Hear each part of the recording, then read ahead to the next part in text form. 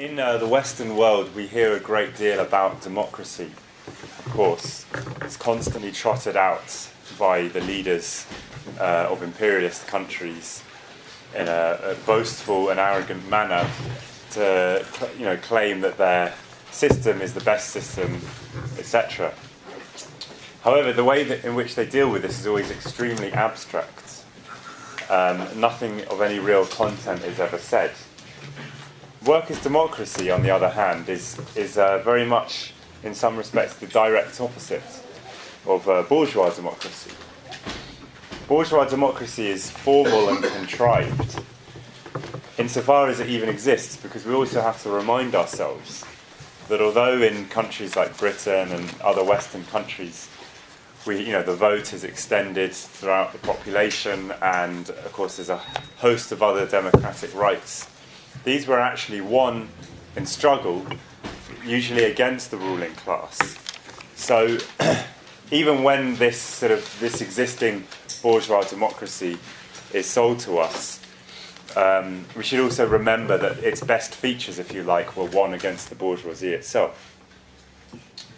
But anyway, bourgeois democracy, even uh, where you have its extension to the whole population, more or less, it's really just a formal thing. And uh, it's a very abstract construction, defined in advance, um, based on uh, very fixed principles uh, and formal rules and precedents that must be obeyed regardless of whether they particularly help the situation. And they say nothing of the real lives that we actually lead, the real power that we actually have or don't have, the real balances in, in the population. It doesn't really discuss or think about those, it doesn't build that into its system whatsoever. And for that reason, I describe it as a very abstract and sort of contrived and formal democratic system. And of course, the opinion is not restricted just to Marxists, it's a very widely held opinion that actually our democracy isn't a real democracy, that the, the corporations behind the scenes really control things. The banks will uh, threaten governments if they don't do what they what the people want them to do. Uh, sorry, if they don't do what the banks want them to do. Um, and uh, and really, people are aware that this very corrupt, the corruption of money and of power based on wealth uh, and inequalities of wealth filters through in a thousand invisible ways throughout society, which constantly hamper the, what little democratic process we really have. So, for instance, um, you have in a we've experienced in the last year or year and a half in Britain in the Labour Party, a rare victory, of course, with Corbyn winning. Uh, but we should bear in mind, we should remember just how lucky that was, how the whole system was set up to prevent somebody like him even being able to run, and was only on the ballot almost for a laugh because they didn't take him seriously at all. Uh, and now him having won, there's all kinds of discussions and have been over how to prevent this ever happening again, and all kinds of contrived bureaucratic rules they want to establish, such as the election of uh, shadow cabinet ministers, but not elected by the membership, elected, of course, by the MPs. All kinds of deliberate constructions to prevent uh, the members actually having elected who they want to have elected. And you can feel at every step of the way in the Labour Party these tentacles of big business and organisations like Progress, which are set up by big business, hampering the democratic process, restricting the rights of ordinary people to really have a control over their own party. Um, and I think many people in society, the majority of people in some form or another, are aware of this. But as, as I said, workers' democracy is extremely different to this. Workers' democracy is not contrived, it's not formal and abstract, it's not about setting up a scheme of rules in advance which have to be obeyed uh, and uh, fetishized, even. Uh, workers' democracy actually is not a, uh, an imagined creation of Marxists and revolutionaries. It's not something that we would like to see, so we imagine it might exist actually, it is in many cases a, a, real spontaneous creation of the working class. In many instances, in revolutionary processes in the history of the world or the history of capitalism. And uh, in fact, even you know workers' democracy, you could extend or uh, restrict the definition of it, of course, to include even just simple trade union meetings within capitalism. And so, obviously, exists if, it, if it's understood that extensively on an, an extremely wide level in society. And because of this, because of this practical and spontaneous uh, character of workers' democracy, it has uh, it is much more flexible and is uh, le- is much more I think varied in its form actually, and has to be understood that it is created differently in different circumstances, and uh, and, and its rules should be understood and interpreted flexibly by and will inevitably be interpreted flexibly by its participants. So it does vary from time to time and place to place.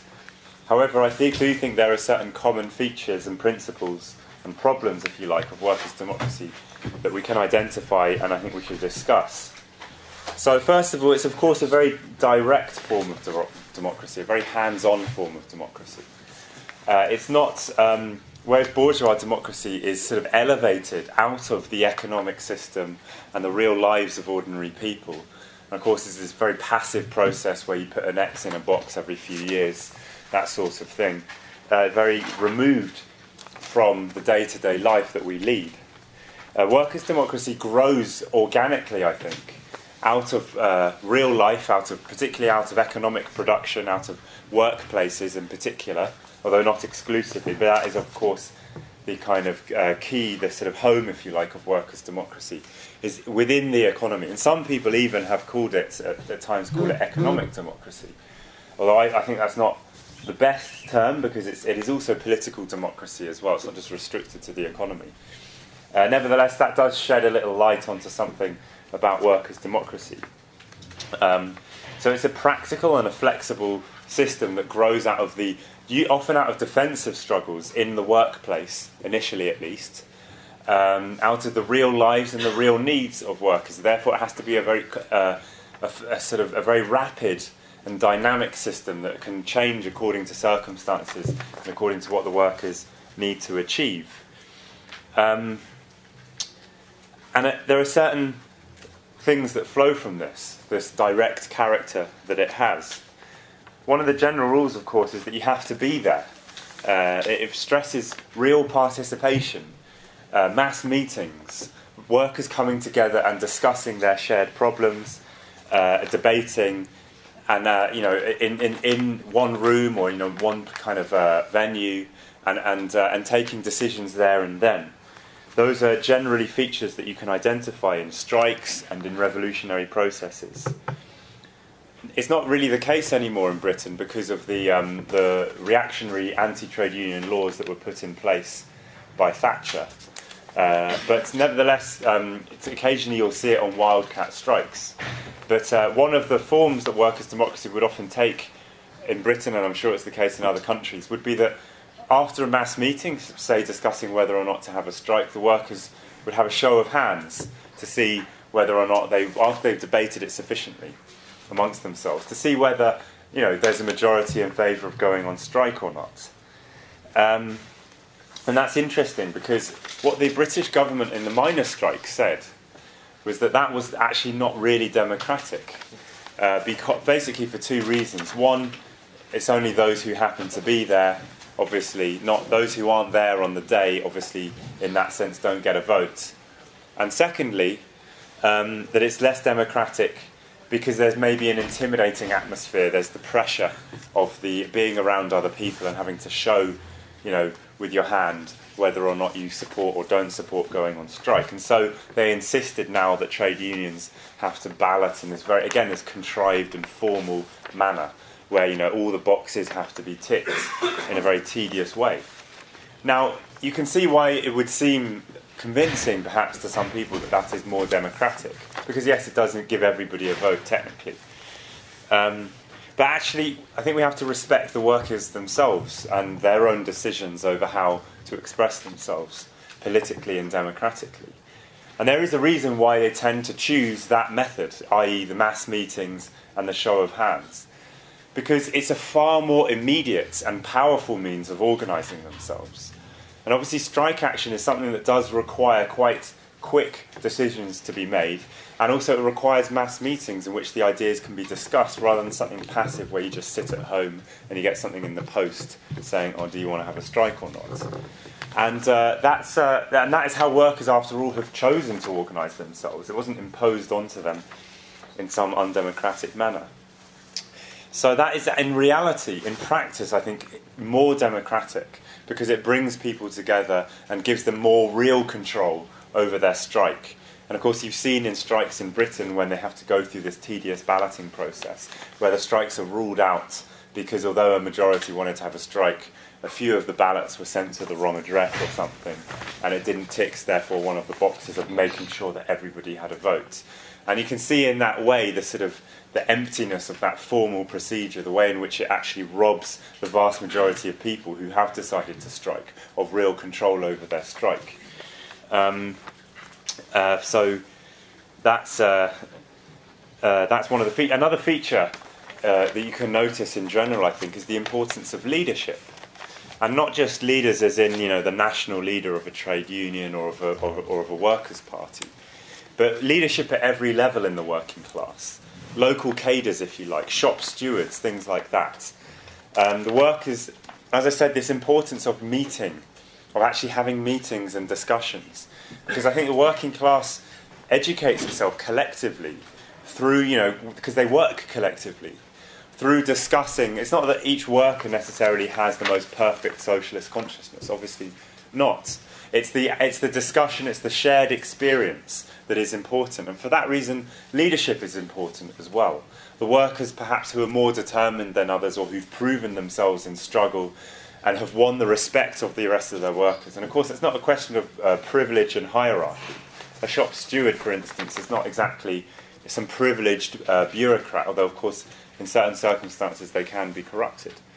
But that is, uh, that is actually quite essential to, I think, the power of the working class. And again, it's one of the things that the bourgeois state seeks to destroy those networks of activists and shop stewards. They want to dissolve that into, into the mass and, have, and, and, and give uh, no excuse for them having meetings where they can discuss with their fellow workers. And again, that's why they, they prefer more that, like the balloting system through the post.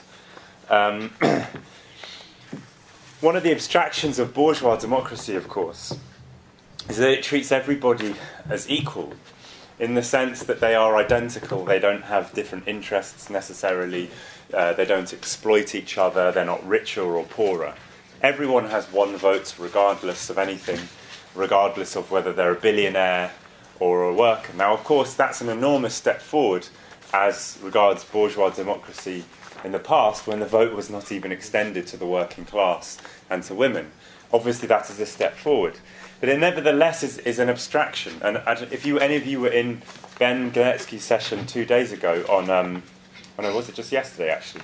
On, uh, I lose track of the days, on, um, uh, on what will socialism look like. And he talked about how bourgeois uh, justice is supposed to be blind, you know, and the, the statue of it has a blindfold on. It's not supposed to take regard of your, your privileges or whatnot. But it, actually, what that does is it ignores the real power imbalances that exist in society. And it pretends that you can have what we would call a supra class democracy. A democracy that spans all the classes, despite the fact that they're at war with each other, they have conflicting interests, and some of them are, own the me- all of the media, uh, etc., and others are extremely downtrodden. That is uh, one of the thing- aspects of bourgeois democracy. And I think that it has that all the better to mask what is really going on. Uh, it doesn't really extend into the workplace at all or into the real conditions of people's lives. It's a kind of almost just this facade that takes place, but really behind the scenes, of course, is where the real power is exercised. Um, but in contrast to that, workers' democracy uh, not only takes recognition of the class differences that exist in society, but of course, typically would restrict itself to those who work. Um, and of course, again, that's a way in which the bourgeoisie could attack workers' democracy in a formal sense for being less democratic, uh, because of course you're not extending the franchise to the rich. But actually, that's again, it's this, this abstract and formal way of looking at things that pretends that we're just so many individuals to be added up in just a, a mere quantitative manner um, without conflicting interests. And put it this way if you were in a, a workplace and you were wanted to organise a strike to defend yourselves and you wanted to discuss that amongst the workplace, would it be more democratic to invite the boss and all their managers into the meeting and involve them in your discussions and your plans and perhaps give them a vote as well as to whether or not you're going to go on strike against what they're doing? Would that empower you more? Would that give the workforce a, a more confidence in their strike and uh, more of an ability to take such strike action? Of course, it wouldn't. So, again, this linking of workers' democracy to real practical needs. In other words, it's not just mere democracy for the sake of it, but it's to achieve something. In the case of a strike, obviously, it's maybe to achieve a strike or some other kind of industrial action. In the case of running society after taking power, we are here talking about workers' democracy before socialism and communism have really been achieved. In other words, when there are still class distinctions immediately after taking power. Then the practical need of that workers' democracy is obviously to organise socialism and to uh, win against the bourgeoisie and to defeat the counter revolution. And in such circumstances, it would be absurd, I think, to invite those very same people against whom the revolution is struggling. And you can imagine the heightened tensions of a revolution when you've taken power from the capitalists, when everyone is forced to choose sides, the absurdity of um, having uh, inviting the capitalists into the Soviets or the workers' councils to help you decide on how to carry out the revolution would be ludicrous. Um, and so I think for that reason, workers' democracy is also much more honest than bourgeois democracy. Uh, we call it also the dictatorship of the proletariat. Uh, that is what another name for workers' democracy. Workers dictating to society, if you like. Uh, and cap- bourgeois democracy can also be termed the dictatorship of the bourgeoisie or of capital. But of course, they would never admit that that is the case. They pretend that actually it's all because everyone's got a vote. Uh, it's a genuine democracy. It's one giant discussion where we're all just deciding collectively how to run society. But of course, most of us are deprived access to resources uh, and, and, uh, and to, to, to, the means to live and to communicate. So, anyway, on to the uh, concrete example of workers' democracy in the Soviet Union after the taking of power.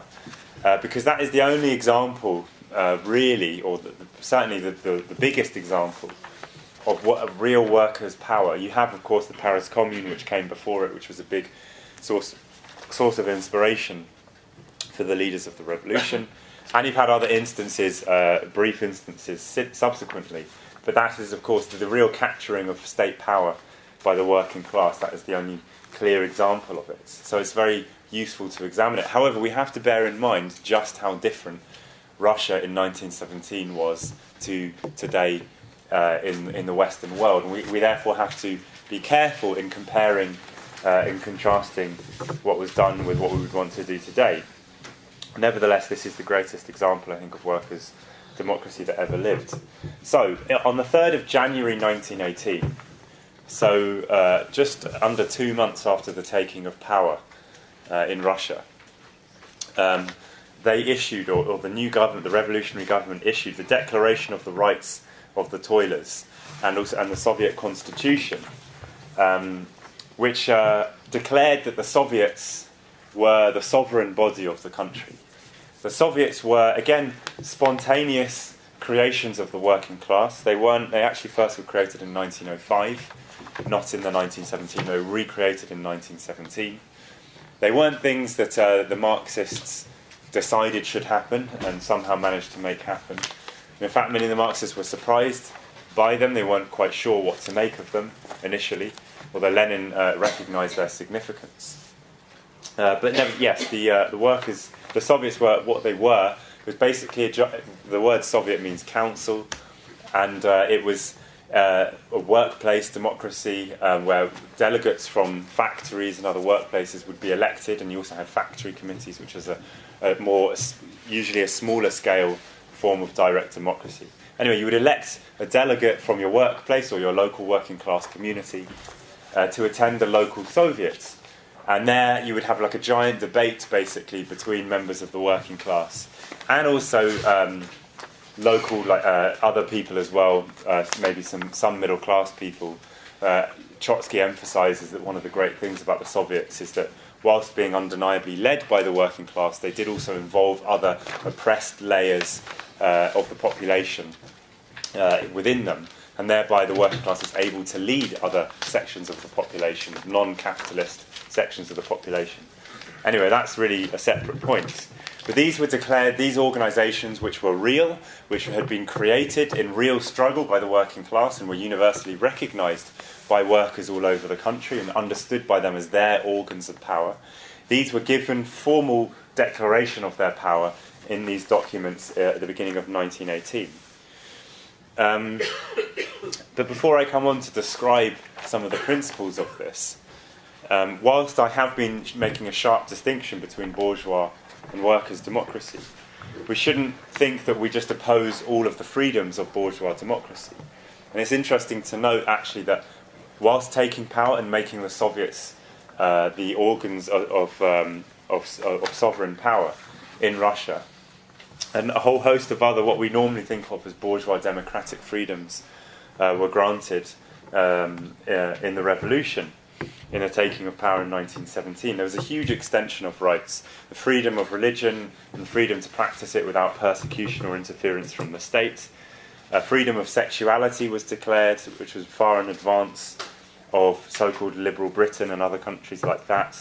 Freedom of speech and freedom of assembly but what's interesting in particular to note about these is, and I'll come on to this in a, in a second, is that these were filled with material content.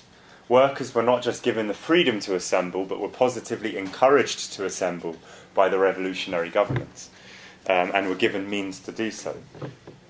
But anyway, just to dwell on this point a little further, uh, it is a common feature of bourgeois democracy and bourgeois revolutions that it cannot even fully realize its so called freedom of the individual and the rights of that, uh, and, and the democratic rights of, uh, of, of, bourgeois democracy. It frequently cannot even fully achieve those things, even in the most favourable of circumstances, because of the conservatism of the capitalist class, because of the fear of revolution that they have.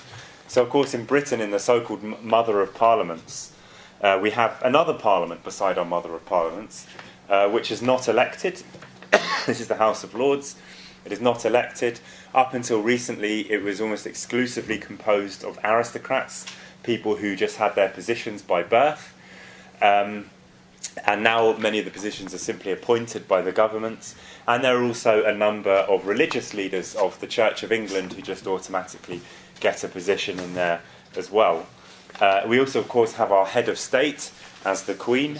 Uh, and this is not just unique to Britain. You have such a situation, of course, in many advanced bourgeois democratic countries, uh, and to whom the, the, the, military swear their allegiance. So we should bear that in mind as well, that the revolution in 1918 actually achieves many of these bourgeois democratic freedoms far more thoroughly than did uh, countries like Britain, uh, etc. Um, anyway, in making the Soviets the sov- sovereign body of the nation, um, the Constitution therefore made the franchise exclusive to those who work. Uh, the Soviets were built by those who work. So it was actually in the rules that uh, if you employed other people, if you lived off the labour of other people, if you exploited other people essentially, you actually couldn't participate uh, in these organisations. I've already explained, I think, the, um, the, justification for that, the necessity of it, indeed. Um, and uh, um, and, but most significantly, as I suggested earlier, the, uh, they didn't just grant these freedoms in the legalistic sense, they, or at least they attempted to. Of course, the conditions were extremely bad, but they attempted to fill them with a material content uh, by granting access to the newspapers, to the meeting halls, the airwaves, etc., through nationalisation and placing these institutions uh, under the control of the workers' organisations. Um, so they filled these legalistic provisions with a real material content. So the workers not, not only merely formally could uh, exercise the right of assembly, but could actually, in practice, do it. And as Lenin himself explained, uh, this is a quote the old bourgeois apparatus, the bureaucracy, the privileges of wealth, of bourgeois education, of social connections, etc., All this disappears under the Soviet form of organisation. Freedom of the press ceases to be hypocrisy because the printing plants and stocks of paper are taken away from the bourgeoisie. The same thing applies to the best buildings, the best palaces, the mansions, and the manor houses. Soviet power took thousands upon thousands of these best buildings from the exploiters at one stroke, and in this way made the right of assembly, without which democracy is a fraud, a million times more democratic for the people. Um, he goes on Is there a single country in the world, even among the most bourgeois, the most democratic bourgeois countries, in which the average rank and file worker, the average rank and file labourer, uh, um, enjoys anything approaching such liberty of holding meetings in the best buildings, such liberty of using the largest printing presses and biggest stocks of paper to express their ideas and, and to defend their interests, So, um, such liberty of promoting men and women of their own class to administer and to knock into shape the state, as in Soviet Russia. In Russia, the bureaucratic machine has been completely smashed, razed to the ground, the old judges have been sent packing, the bourgeois parliament has been dispersed, and far more accessible representation has been given to the workers and peasants. Their Soviets have replaced the bureaucrats, or their Soviets have been put in control of the bureaucrats, and their Soviets have been authorized to elect the judges. Now, in this Soviet system of democracy, uh, initially, of course, um, it was not an exclusively Bolshevik affair. The government that was formed out of the Soviets was itself a coalition between the Bolsheviks and the left social revolutionaries. And the, uh, the SRs as a whole and the Mensheviks uh, participated in the elections to the Soviets uh, actually for years after the taking of power until the 19, early 1920s. And even the cadets had the right to publish their newspaper, they were the equivalent of the Tories basically, had the right to publish their newspapers and be active uh, in society. It is true, however, as I think we all know, that these rights uh, and this sort of multi party democracy was generally restricted uh, after the taking of power uh, in, a number, in a sort of step by step process because of the realities of the struggle of the revolution and of the civil war, which I think underlines that there can be no supra class democracy. In a revolution, which is really a fight to the death, uh, there's no you can't there's no third way. You can't can't sort of just have a gentlemanly debate in that sense. Of course, these groups, especially the the left SRs, but also the Mensheviks, in normal circumstances, uh, would be people that you know would normally engage in a a gentlemanly, I suppose, debate with the Bolsheviks and very similar people, and people would have passed back and forth between those parties. But in a civil war, uh, organised and financed by the counter revolutionaries, by the bourgeoisie, uh, and by the imperialists, you were forced to choose sides in a very vicious struggle. And that's precisely, of course, what the SRs, what the Mensheviks, and unsurprisingly, obviously, what the cadets did. So even the Mensheviks and the SRs openly conspired with the imperialists in the Civil War, openly took arms from them, openly launched uprisings uh, throughout the country in collaboration with the whites, with the most reactionary forces in society.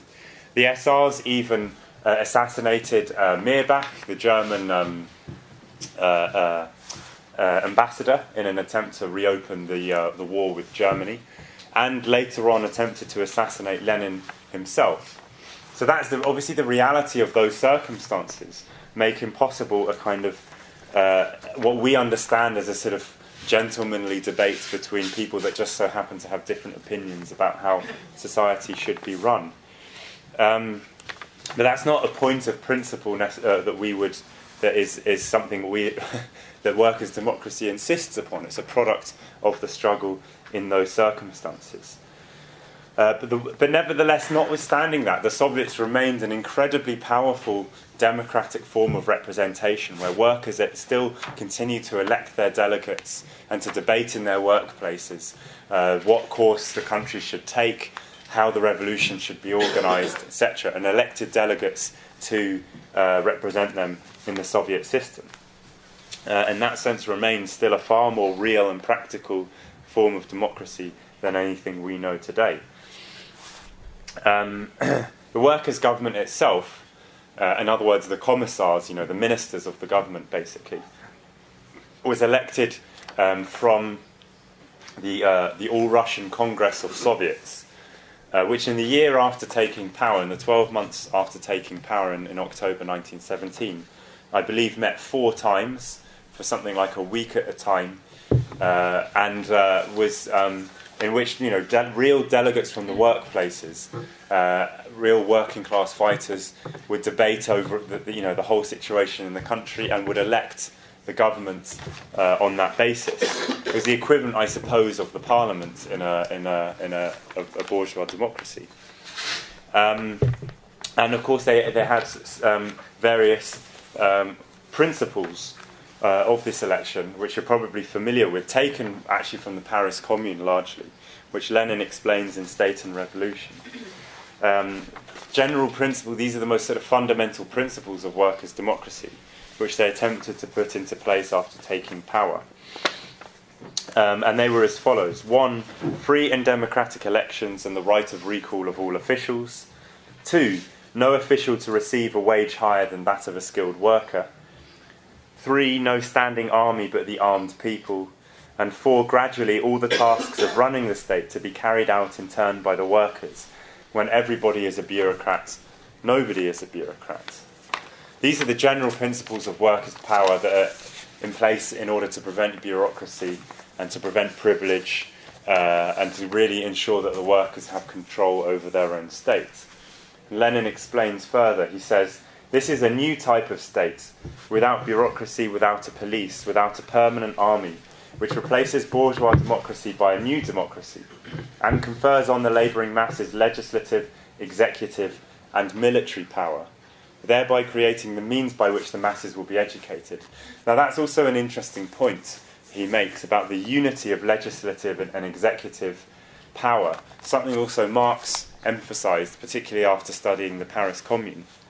Now, if you study bourgeois democracy, they, one of the most cherished principles of it is the separation of powers, uh, which you are told is to make sure that no horrible tyrant ever comes to power and bosses everyone around too much, because you've got separate powers there, like the judiciary and the legislative, which are independent of the executive, to prevent too strong a concentration of power, essentially. What it really is there for is, to, is there is to, is to, is to stop basically. Uh, any real infringement upon the status quo. It's to stop capital and the movement of capital really to be prevented too much by any p- p- powerful uh, politician. I think you can see this most clearly in the United States, the most ideal bourgeois democracy, arguably, uh, in which they have this very tedious and complicated balance of all the houses and all of these committees and blah blah blah, which are there to ensure that you basically have um, a bottleneck in an, an, inability for a president or anyone else to really push through progressive legislation or any other kind of legislation which might impinge upon the making of money, basically. Um, which is how really the liberals see it. The liberals see the making of money, the buying and selling of commodities, as the most perfect expression of freedom.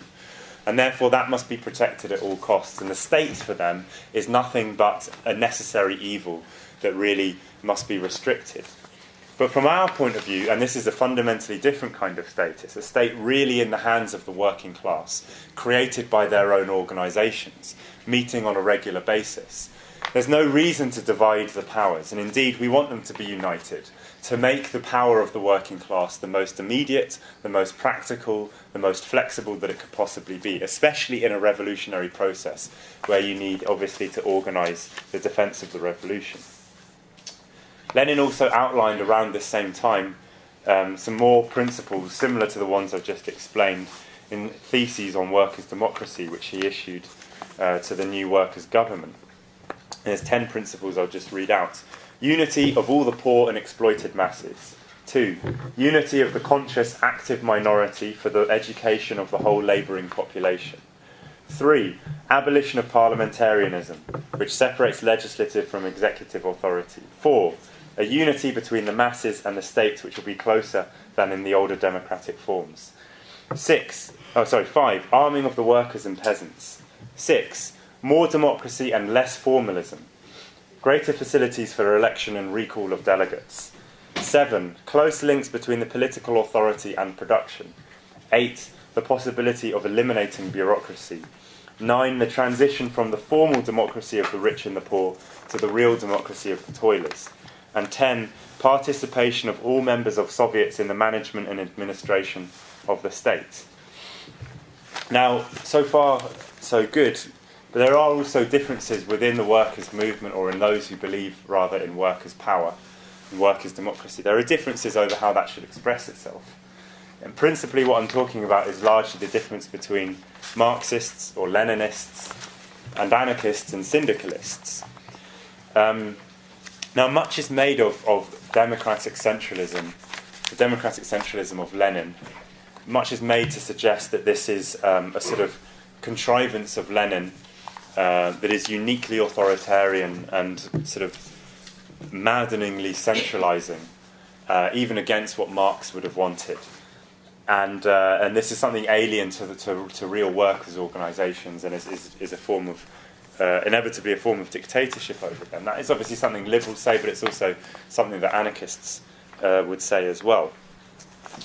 Um, and anarchists, instead of this, would stress the need for workers' organisations and workers' democracy to have autonomy or a federation kind of structure where you know the local workplaces and the different industries have autonomy. There's no central authority that dictates to them because for them that was just a new form of hierarchy and oppression.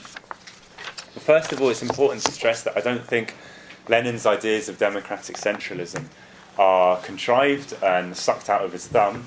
I think that they are the real principles of workers' democracy as they, as they actually express themselves. Workers feel the need, of course, to join into bigger organisations and to collaborate and to, to submit to general decisions, basically. And also, you can see in, in for instance, a strike where the workers debate freely uh, and discuss amongst themselves whether or not they should have a strike.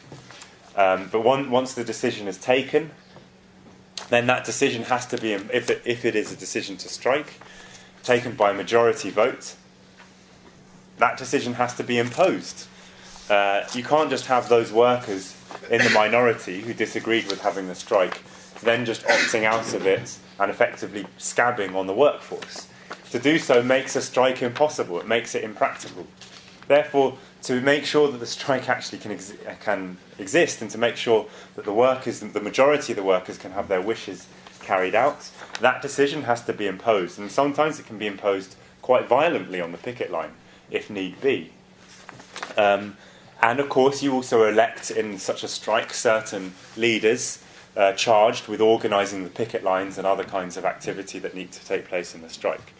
So you can see quite clearly in this most elementary and fundamental form of workers' democracy and power, you can see the same basic principles of democratic centralism that Leninists believe in. But it's, it's a flexible idea, it's a flexible thing. It will vary in its application from place to place. And I think that's part of the problems that's not understood about this that workers' control and democracy, as existed in the Soviet Union, as practiced under Lenin and Trotsky, is taken out of its context and presented as if those are general principles which we must all apply uh, anywhere and everywhere. Um, there are a great deal of, I think, frankly, naive ideas about how it is possible to organise uh, a revolution and establish a socialist society with regards to the, the uh, influence of anarchism and syndicalism on the left. So, as I've said, they stress autonomy, the need for freedom of local workers' organisations. Uh, and I think that in itself expresses, frankly, a kind of bourgeois or petty bourgeois prejudice, a sort of liberal prejudice that we want to have our own freedom. Isn't it so terrible if someone else tells us what to do? It's that sort of individualistic kind of conception of things that doesn't actually flow from the working class uh, itself. Um, and, uh, and I let's take a look at the, what really happened in Russia, I think, to come to a better understanding of the problems and the realities of the situation. Now, workers' control, the actual phrase workers' control, uh, technically is used or has been, was used in the Russian Revolution, uh, not to mean uh, workers' power and workers' management of the economy and of society, it was used to refer to the control of a local factory or workplace where you would elect your managers um, and decide on the hiring and firing and things like that. And it's just restricted to that. So that technically is what workers control means. And of course, its application it can be very varied in different circumstances and depends entirely on the, the technical uh, and scientific and educational apparatus available to the working class. Now, when the, Rus- when the Bolsheviks took power in 1917, the idea was, the understanding was, that um, there wasn't the technical means to implement real workers' management of the economy. The working class was too small, uh, was not educated sufficiently, a lot of it was illiterate, and basically had no skill in managing things. Now, in today's capitalist societies, many of the managers or the administrators of the economy of workplaces are actually really themselves wage labourers who are probably members of the same union.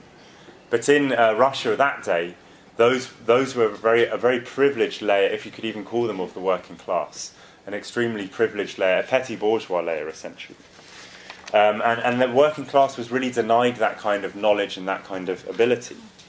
So the idea after taking power is that workers' control was to be granted, so that workers in the workplaces could uh, were granted the right by the power by the state to decide over how their factories should be run, essentially. But the idea was that these workplaces would remain under the management and the expertise of the capitalists or of their managers. They weren't to nationalise the whole of the industry, and they weren't to put the management and the decision making over what was to be produced and, and how and all of the technicalities of it. That was to remain in the hands of the bourgeois management class, essentially. That was the thinking, anyway.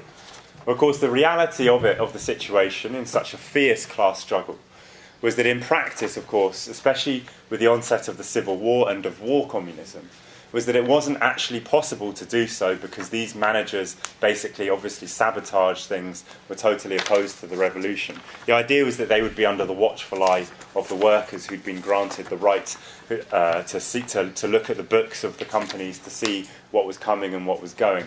But in practice, it was just not possible. And so the nationalizations went far further. Uh, but the realities of workers' control in the months after taking power in uh, early 1918, where the workers were, as I said, granted the right of workers' control, and Lenin uh, issued a demand for the workers to take control of their own workplaces, actually. But the reality of that was far from the rosy picture that perhaps the anarchists would paint. The anarchists have this idea that merely having workers' control in the local areas, they'll just, of course, the anarchists would accept the need for cooperation amongst the working class in the economy as a whole, but they have the idea that arises almost automatically out of the sort of collective understanding of the working class, and they don't need an authority to tell them to do it. They just will sort of automatically cooperate and, and, and create a harmonious economy.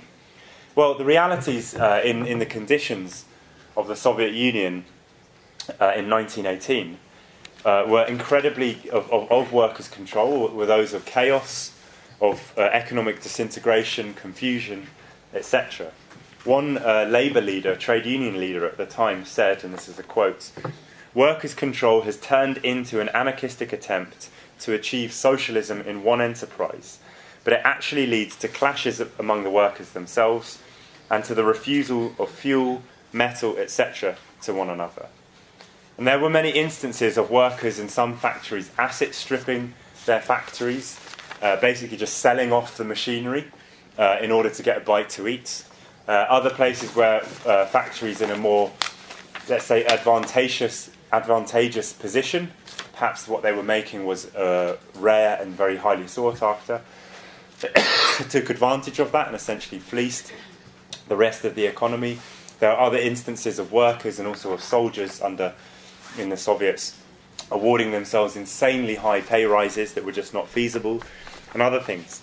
Now, this is not to denigrate the ability of the working class to run its own workplaces, but in dire economic circumstances, at the end of, of, a, of a, horrific uh, world war in which people were starving to death and were exhausted, and when the means of education were not really there either, in those circumstances, in the chaos of the revolution, unsurprisingly, uh, the workers, or some of the workers, behaved in such a manner.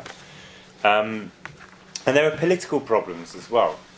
You'll never have a socialist revolution in which every single share, every single area of the working class is behind the revolution, is fully on board, and understands what needs to happen. The working class is not homogenous.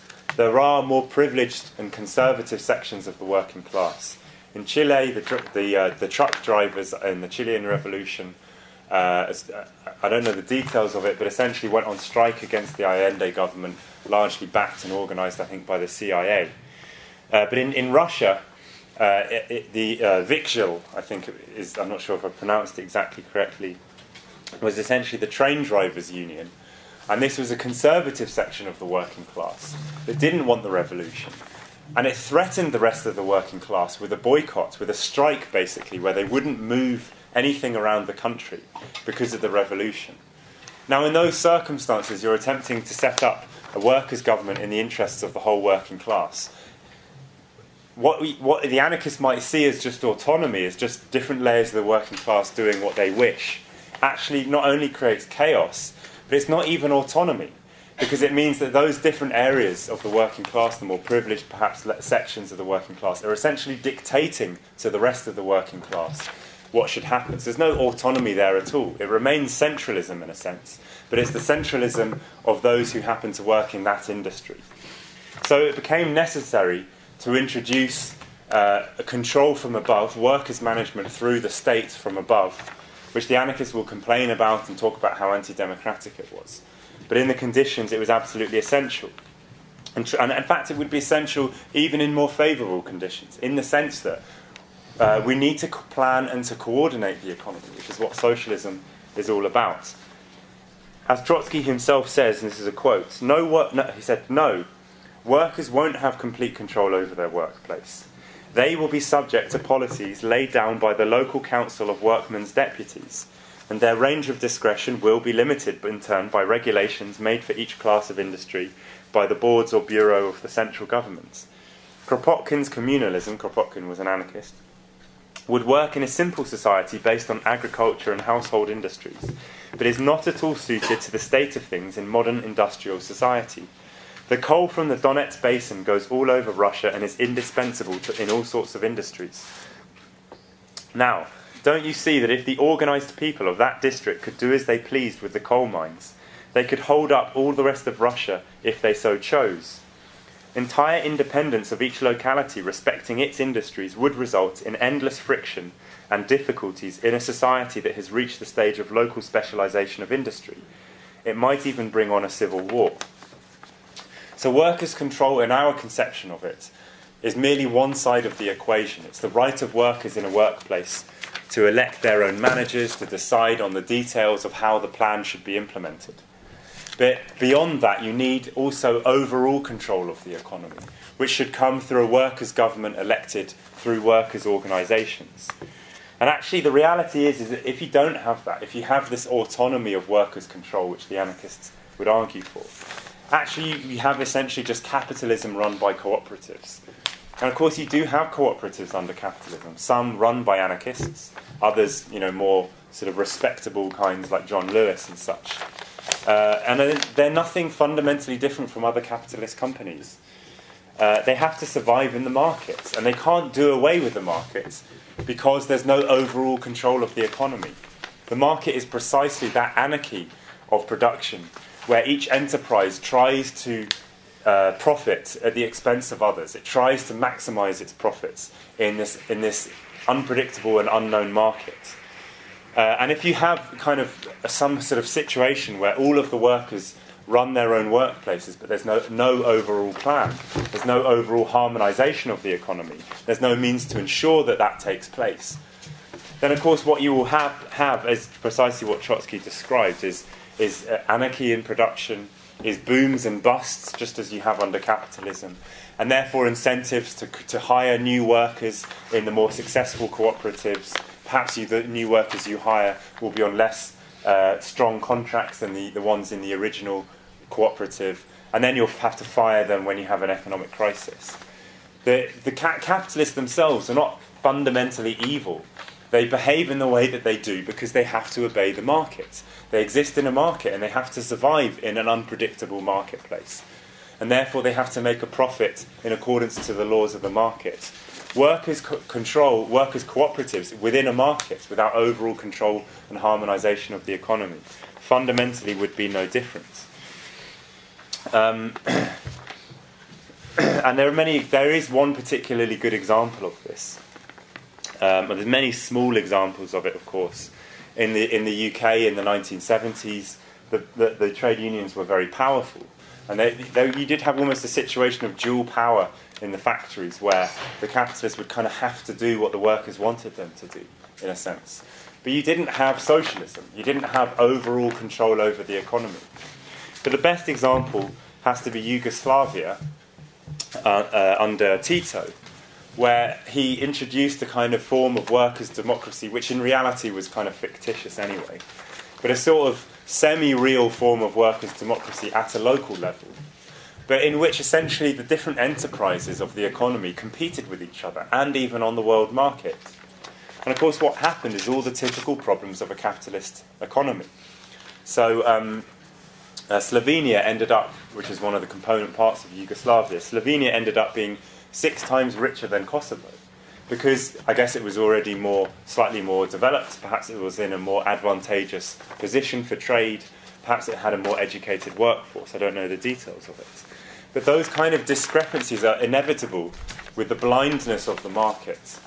The only way that you can do away with them and create genuine equality and genuine freedom is when the whole of society takes over and understands all of the resources at its disposal and collectively plans them and harmonizes them, not for the short term gain of this or that enterprise that happens to be in a fortuitous position, but plans them for the profit of all of society, for the most harmonious profit of all of society. And to do that, you have to have centralization, you have to have an overall control of the economy.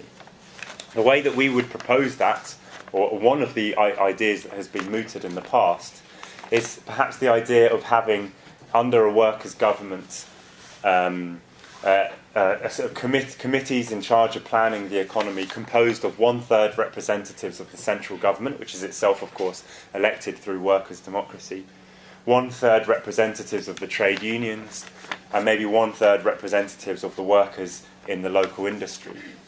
maybe even you could find some form of representation for the consumers as well within that system of planning.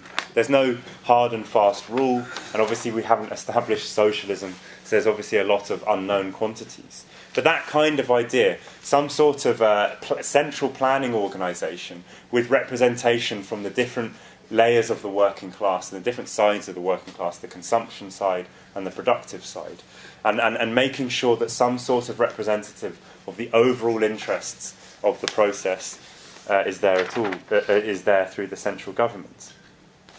Um, in, in, in the Soviet Union, they attempted to do something like that very uh, quickly after taking power. There was a, an, an organization called Vesenkha, which um, was uh, kind of like an economic Soviet. Uh, in other words, you had this, the, the political Soviets, the, Supre- the Supreme Soviet, the Congress of the All Russian Congress of Soviets that I've described, but also to be elected was an economic Soviet just dealing with economic questions. And uh, the top body of this was to be composed by, um, I, don't know, I don't know where I've got it. Oh, yeah. 10 members from the political Soviet, that is, the, you know, the, the, the main central Soviet, 20 from regional industry, and 30 from the trade unions. However, the reality of it was that it fell into disuse because of the conditions of the civil war and uh, the chaos and confusion of the revolution. Of course, it was incredibly difficult to manage uh, workers' democracy in those conditions. Also, the, the, the All Russian Congress of Soviets, which I said met four times in the first year of the revolution, and whose job was to hold the government to account, etc that also began to meet less and less regularly after 1918. And you can imagine why, in the conditions of the Civil War, the blockade, etc., the economic conditions, the military conditions, the best working class fighters were literally dying in the Civil War. They lacked the energy from below, they lacked the time, etc., for this kind of participation to be real. And that, of course, has, I have to be very telegraphic here, but that, of course, is the ultimate reason why workers' democracy gradually got extinguished in the Soviet Union and replaced with Stalinism. It was the dire conditions, it was the lack of education of the working class, uh, the lack of time, the exhaustion, uh, etc. And gradually, bit by bit, basically the workers were usurped by the, the, the bureaucrats, the middle classes, particularly the, the former czarist bureaucrats, uh, who found more and more room to uh, take privileges for themselves and push the working class to the side. And that's the basis of Stalinism. But anyway, the last thing I just want to say is just uh, regarding Lenin.